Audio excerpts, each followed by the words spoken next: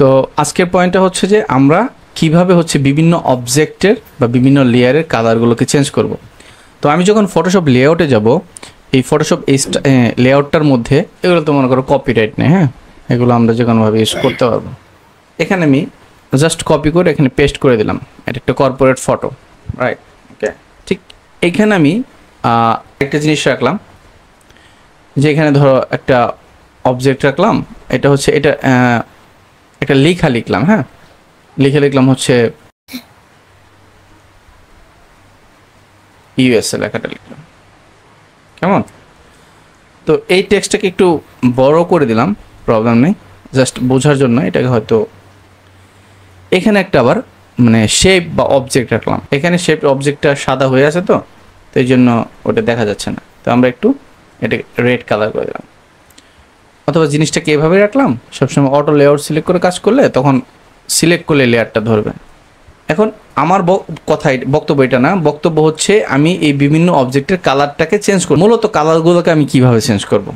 That's the point এবং কালারগুলো বিভিন্ন অবজেক্টকে আমি কীভাবে কাজ করে সেইটা একটু বলি।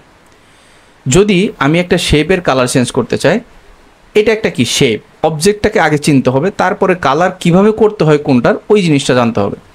তাহলে এখানে কিন্তু তিনটা তিনটা অবজেক্ট আছে তিন ধরনের। তিনটা অবজেক্ট তিন ধরনের আছে, তাই না? এবং আরেকটা অবজেক্ট মনে করো যে আমি নেই, নিলাম, সেটা হচ্ছে ধরো একটা রেক্টেঙ্গুলার টাইপের নিলাম, কিন্তু এটাকে রাস্টার বানায় রাস্টার করে নেব, ঠিক আছে? জাস্ট ওয়ান সেকেন্ড এটাকে রাস্টার করে ফেলি আমি। ধরে নাও যে এই জিনিসটাকে আমি এই এই এখানে অবজেক্ট কয়টা আছে? একটা হচ্ছে রাস্টার লেয়ারের এই এটা আছে একটা আছে টেক্সট আছে, একটা হচ্ছে শেপ আছে, একটা হচ্ছে ইমেজ আছে। ব্যাকগ্রাউন্ডটা মানে এটা হচ্ছে সাদা একটা ব্যাকগ্রাউন্ড আছে। এই কয়টা লেয়ার জিনিস এখানে আছে? এখন আমি যদি প্রশ্ন করি মানে উপরে যে লেয়ারটা এটা হচ্ছে কিসের লেয়ার আছে? এটা কি অবজেক্ট এর চারিত্রিক বৈশিষ্ট্য কি? এই লেয়ারটার চারিত্রিক বৈশিষ্ট্য হচ্ছে একটা রাস্টার লেয়ার ঠিক আছে? রাস্টার লেয়ার কি থাকে? তার লেয়ারের এই, এখানে ট্রান্সপারেন্ট একটা অপশন থাকে জাস্ট সিম্বলটা দেখাবে। এটা সাধারণত কোনো একটা নির্দিষ্ট অবজেক্ট মানে নির্দিষ্ট অংশকে যখন আমি কন্ট্রোল এন্টার ধরে সিলেক্ট করতে পারি, অথবা মানে রাস্টার লেয়ারে কোনো একটা অবজেক্ট কালারকে আমি সিলেক্ট করতে পারি, অথবা এটাকে আমি পেন টুল দিয়ে সিলেক্ট করতে পারি, এটাকে আমি ম্যাজিক টুল দিয়ে সিলেক্ট করতে পারি।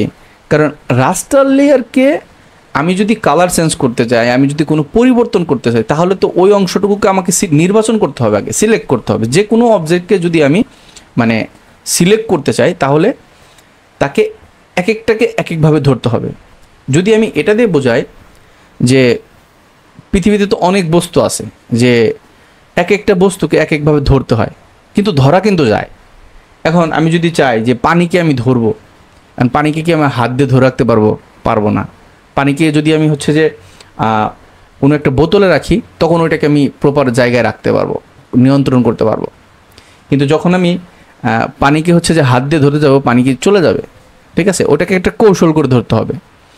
এখন যদি আমি কোনো একটা বস্তুকে ধরি, যেমন একটা আমি যদি হচ্ছে একটা মগকে ধরি, একটা ফোনকে ধরতে চাই, টাচ করি হ্যাঁ ধরি, তাহলে কিন্তু এটা অবজেক্ট হিসেবে আমি ধরলেই হবে। কোনো একটা বস্তুবাচক জিনিসকে যদি আমি ধরি, তাহলে কিন্তু এটা ধরলেই কি টাচ করলেই কি, এটাকে আমি ধরতে পারব, এক জায়গায় থেকে এক জায়গায় সরাতে পারব, নিতে পারব, কোনো সমস্যা হবে এখন সিলেক্ট যদি আমি হচ্ছে কোনো একটা আগুনকে যদি ধরতে চাই, তখন কি, এটাকে আবার কো- যে এটাকে আগুনের থেকে সহনশীল কোনো মানে জিনিসকে, এত উত্তপ্ত জিনিসকে ধরার জন্য এবং প্রোটেক্টর ইউজ করতে হবে অনেক, যেন ওই তাপমাত্রাটা আমাকে ক্ষতি না করতে পারে, তখন ওইটাকে নিয়ন্ত্রণ করতে, করা যাবে যে ওই আগুনের যে তাপমাত্রাটা। কিন্তু কিন্তু ওটা কিন্তু করা যাবে, সিস্টেম লাগবে হ্যাঁ?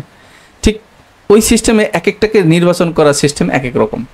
এখন আমি যদি বলি, এইখানে রাস্টার লেয়ারটাকে আমি যদি সিলেক্ট করতে চাই তাহলে এটাকে হয়তো ম্যাজিক টুল দিয়ে আমি কালারটাকে তার কালার রেশিও অনুযায়ী ধরতে হবে, অথবা তাকে পেন টুল দিয়ে ধরতে হবে। পেন টুল দিয়ে এভাবে সিলেক্ট সিলেক্ট করে তখন এই রাস্টার লেয়ারটাকে সিলেক্ট করতে হবে। যে ধরো আমি যদি কন্ট্রোল ডি দেই, তাহলে হচ্ছে যে এটাকে আবার ডিসিলেক্ট হবে। এই ঝিকিমিকি জিনিসটাকে ডিসিলেক্ট হবে। আবার যদি আমি যদি হচ্ছে যে কমান্ড ধরে যদি আমি এটাকে ক্লিক করি, তখন এই লেয়ারটাকে রাস্টার লেয়ারটা সিলেক্ট হবে। কিন্তু এটা সিলেক্ট হলো তখন। আবার যদি টেক্সটকে আমি সিলেক্ট করতে চাই টেক্সটে তো ওইভাবে সিলেক্ট করা দরকার নেই। এখন টেক্সটটাকে যদি আমি কন্ট্রোল টি ধরি বা কমান্ড টি দিই, তখন কিন্তু এই লেয়ারটা সিলেক্ট হলো। ঠিক তেমনিভাবে এটাকেও যদি আমি কন্ট্রোল টি দিই, তখন কিন্তু এটা মুভমেন্ট করার জন্য সিলেক্ট হলো। আবার যদি এটাকে আমি কালার পরিবর্তন করতে চাই, তখন কিন্তু আবার এটাকে আমি ম্যাজিক টুল দিয়ে ক্লোন স্ট্যাম্প টুল দিয়ে, এগুলো দিয়ে আমি সিলেক্ট করতে পারব। করে তারপর কি করতে হবে? যে এখান থেকে ধরো কন্ট্রোল ধরে ইন্টার ধরুন সিলেক্ট হলো। এখন আমি এটাকে কালার চেঞ্জ করতে পারি। ফোরগ্রাউন্ড ব্যাকগ্রাউন্ড এখানে কালার অ্যাপ্লাই করার মাধ্যমে কালার চেঞ্জ করি ধরো এটাকে আমি মানে হোয়াইট করব বা অফ হোয়াইট করব। অফ হোয়াইট তাহলে এটাকে একটু আমি অফ হোয়াইট করে নিই। করার পরে কমান্ড ধরে জাস্ট অল্টার প্রেস করে অপশন প্রেস করে আমি ডিলে চাপলাম। এটাকে কি হয়ে গেল? কালারটা পরিবর্তন হয়ে গেল। আবার কমান্ড ধরে দিলাম, এটাকে কালার পরিবর্তন হলো। এইটাকে আমি রাস্টার লেয়ার হিসেবে চেঞ্জ করলাম। ঠিক আছে? এবার আসি মানে ইমেজ ইমেজের কালারটাকে আমরা অ্যাজ এ রাস্টার লেয়ার হিসেবে হ্যাঁ। হ্যাঁ বলো। প্রপার্টিস দিয়ে করা যাবে। আচ্ছা। তো এইটা এটা হচ্ছে রাস্টার লেয়ারটা যখন আমি ইমেজের ক্ষেত্রে গেলাম ইমেজের ক্ষেত্রে তখন কিন্তু কি হবে? তাকে আমি কালার চেঞ্জ করতে পারব অবজেক্ট চেঞ্জ করতে পারব সব কিছু চেঞ্জ করতে পারব কিন্তু তাকে ওয়ে ওয়েতে করতে হবে। এখন যদি আমি বলি যে ওর হচ্ছে পুরা মানে কালারটাকে আমি ডিফারেন্ট মানে মোডে নিয়ে নিব ডিফারেন্ট কিছু করব। তখন এটার অনেক অপশনাল মোড আছে। অ্যাজ লাইক যদি আমি বলি যে হ্যাঁ এটাকে সে কালার রিপ্লেস করব। সো তো তখন আমি কালার রিপ্লেস করে দিতে পারব ওই রাস্টার লেয়ারে ঠিক আছে? ক্লোন স্ট্যাম্প দিয়ে কালার চেঞ্জ করতে পারব। ডিফারেন্ট ডিফারেন্ট অপশন আছে। তো এটাকে আমি তাহলে সিলেক্ট করতে হবে। যে অংশটুকু আমি কালারই করব হ্যাঁ চেঞ্জ করব এটাকে। বা এটার মোড চেঞ্জ করা যায়। যেমন কমান্ড বি যদি আমি কমান্ড বি দিই, তাহলে কালার ব্যালেন্স হবে। ও কি করবে? ওর বিভিন্ন ইমেজের কালারকে বিভিন্নভাবে ব্যালেন্স করবে। ঠিক আছে? হ্যাঁ তারপরে এটাকে যদি আমি হচ্ছে যে রেড কম্বিনেশন করি, তাহলে কি হবে? ও ওই লেয়ারের কালারটাকে মানে রেড কম্বিনেশন করবে বা ওর কম্বিনেশন বাড়াবে। কারণ ও তো ও তো একটা ইমেজ হুম? তারপরে হচ্ছে, আমি যদি কন্ট্রোল এম দিই, এটার হচ্ছে যে, ধরো কার কার উপরে, তাহলে কি হবে? এটার মানে ডিফারেন্ট ডিফারেন্ট অপশনগুলোকে লাইট ডিপ এগুলো করবে। কারণ ওই অবজেক্টটাকে লাইট ডিপ অনুযায়ী সে ব্যালেন্স করতেছে, ঠিক আছে? এটাকে যদি আমি হচ্ছে যে জাস্ট কথার কথা কালার রিপ্লেস করি। তো ধরো এখান থেকে সিলেক্ট সিলেক্ট করব। ধরো এখানে আমি ম্যাজিক এই টুল দিয়ে একটু ম্যাজিক টুল দিয়ে মানে এটাকে আমি এই ব্ল্যাক কালারটাকে একটু সিলেক্ট করলাম কথার কথা।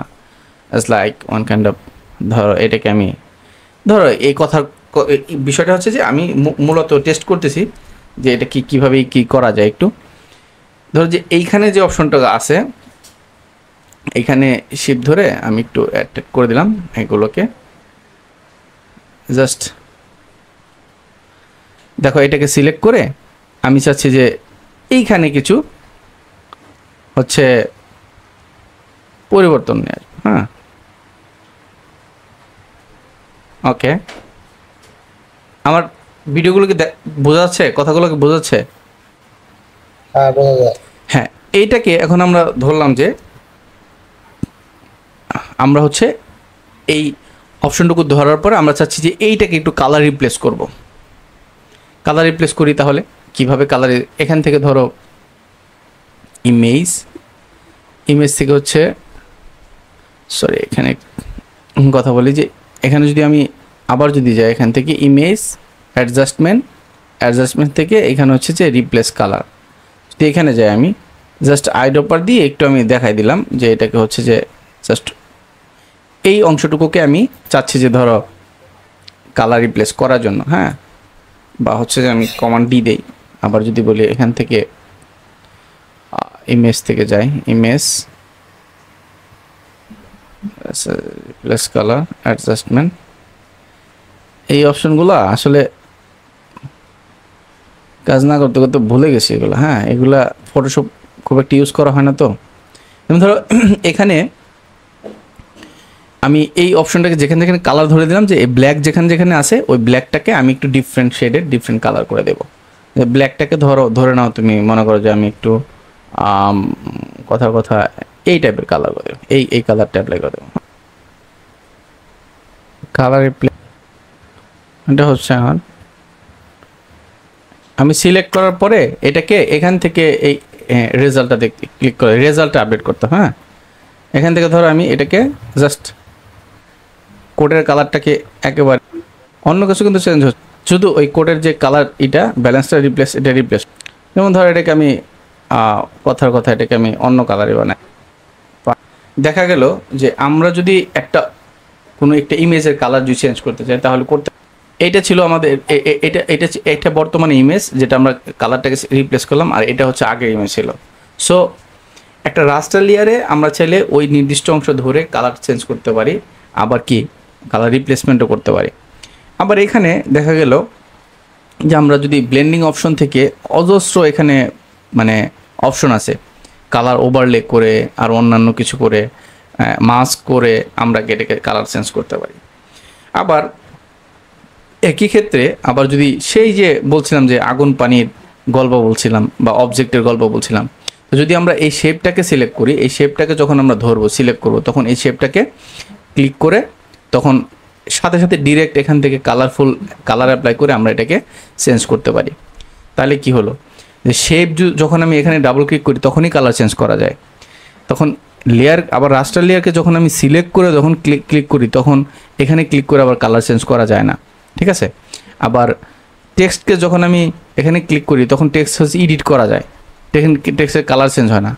তখন টেক্সটকে যদি আমি আবার টেক্সটের জন্য আলাদা অপশন কী আছে? এই টেক্সটটাকে যখন সিলেক্ট করি, তখন আলাদা ও তার মানে প্যানেল দেখায় দেয় যে দেখো আমাকে সিলেক্ট করলে তখন এই যেখানে একটা কালারের অপশন আছে সেখান থেকে টেক্সটের কালার চেঞ্জ করা যায়।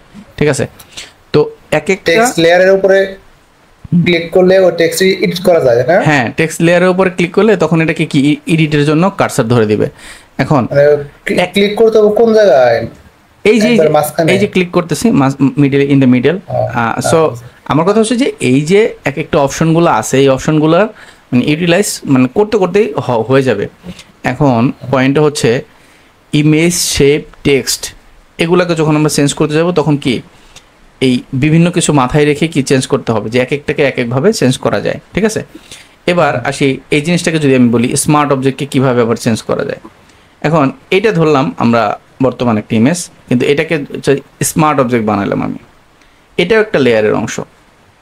তাহলে স্মার্ট অবজেক্টটা হবে তখন আমি এটাকে যত কিছুই করি না কেন হ্যাঁ কন্ট্রোল ধরে ইন্টার দেই, আর আরও কিছু করি না কেন।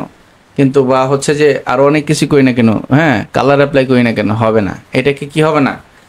অল্টা ধরে দিলাম কন্ট্রোল ধরে দিলাম, যত কিছু ধরে কালার টালার অ্যাপ্লাই করি বা কোনো কিছু করতে চাই সেটা পরিবর্তন হবে না। কারণ সে কি স্মার্ট স্মার্ট মানে কি? তাকে বুলেট প্রুফ জ্যাকেট পরানো আছে, তাকে গুলি করলে কি হবে না? কাজ হবে না। ঠিক আছে? এখন এটা কি শুধু ওই ইমেজের ক্ষেত্রে? নট অনলি ইমেজ আমরা যে কোনো কিছু যদি স্মার্ট অবজেক্ট করি মানে যদি স্মার্ট অবজেক্টটাকে ওই লেয়ারটাকে যদি স্মার্ট অবজেক্ট করি মানে ওকে মেন কথা ও কিন্তু দেখতে অন্যান্য লেয়ারের মতো না। ও কিন্তু দেখতে হচ্ছে কি? কার মতো? ও হচ্ছে একটা স্মার্ট যেমন ওর ভেতরে কিছু আছে ওকে ক্লিক করে ওকে ভেতরে যেতে হবে। তারপরে ওকে কাজ করতে হবে। যেমন ওকে যদি আমি ডাবল ক্লিক করি ও কী করবে? ও ওই একই ইমেজটাকে সে অন্য একটা জায়গায় ওপেন করে দিবে। মানে ও হচ্ছে কি, একটা করিডোরের মধ্যে মানে নিরাপত্তা বিশিষ্ট জায়গার মধ্যে আছে। ওকে চাইলেই পরিবর্তন করা যাবে না। ওকে যখন পরিবর্তন করতে ও আলাদা একটা সেপারেশন জায়গা আছে, কিন্তু দেখাচ্ছে এখানে আছে। কিন্তু ওকে ডাবল ক্লিক করে অন্য একটা জায়গায় হচ্ছে যে ওকে ওপেন করতে হবে। ঠিক আছে? মনে করো যে এইখানে যখন ওপেন হয়ে গেল তখন যদি আমি এইখানে পরিবর্তন করি as a raster layer as a text as a something like that যে কোনো কিছু হিসেবে ও থাকুক না কেন তখন ওই ওর মানে পরিচিতি দিয়ে আত্মপ্রকাশ করবে। এখন সে এখন এখানে একটা রাস্টার লেয়ার হিসেবে আছে ইমেজ হিসেবে আছে। এখন যদি আমি একে পরিবর্তন ই করে দিই যেমন মনে করো যে আমি এটাকে হচ্ছে যে ওরে একটু করে ল্যাসো টুল দিয়ে ধরে ও ও, এ- এইটুকু আমি জাস্ট ডিলিট করে দিলাম। এবার কন্ট্রোল দিয়ে ডিসিলেক্ট করলাম মানে এইটুকু আমি ডিলিট করলাম। এখানে বাদ দিয়ে দিলাম। এখন যদি আমি এটাকে সেভ করি কন্ট্রোল সেভ দিই সেভ কিবোর্ড থেকে কমান্ড এস বা সেভ সেভ দেওয়ার পরে আমি এইটা কেটে কেটে দিলাম। দেখো সেভ দেওয়ার পরে ও কিন্তু অটোমেটিক আমি এই আগের ট্যাপে চলে আসলাম, ও কিন্তু এখানে পরিবর্তন হয়ে গেছে। ওর কিন্তু এখানে অংশটুকু কাটা। কিন্তু ওকে কি, এখান থেকে আমি কিন্তু কোনো পরিবর্তন করতে পারি নাই। ওকে আমি আলাদা একটা এই ট্যাবে নিয়ে যেয়ে তারপর ওকে এখানে কেটে এখানে নিয়ে আসছি কামব্যাক করছি। তখন ও কিন্তু লেয়ারের কীভাবে আমরা ক্যারেক্টার বা কালার টালার চেঞ্জ করব সেই জিনিসটা আমরা পুরোপুরি একটা ধারণা পেলাম। আমি কি বিষয়টি বোঝাতে পেরেছি? যে হ্যাঁ বুঝছি। সেভ না দিলে সেভ না দিলে কাজ হবে না ওখানে সেভ দিতে হবে হ্যাঁ ওইখানে সেভ দিতে হবে।